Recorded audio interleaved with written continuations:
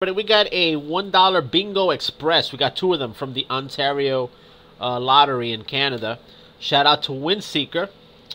And what do we have now? Well, we, we're doing um, $1 ticket. It's only one box for the bingo. You got to get a line. It's a dollar. Four corners is $2. Match the letter T is $10. And X is 50 Box case, which is all of these down here, that's $10,000. Disregard the 7. I scratched this off like that, and I thought it was a 7. But that was actually a 70. So we're looking now for the number for B14 on this one. And we got at least a dollar. We got 14, we got 26, and we got 70 plus the two free boxes. So he gets at least a dollar. Let's see if we could get more. 40. No. And 35. So if we get a 45, that's going to be a $10 win. B11 and 45, $10. $10. Here's the T. You see the T formation?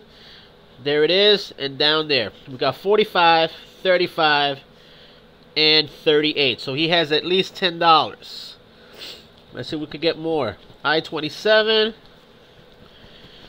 066, G50, and N37. So good start there. Dollar got him deck 10. He got the T formation, $10. Alrighty, the next one. These I've started because I thought they were going to take a little bit longer. 065, we have an 065 there. N42, we have an N42. B10, nope. G58, we're missing a 1. G49, we're missing a 60. I18. B6, nothing. N40, we got the N40. The last one is a B1, and look at that.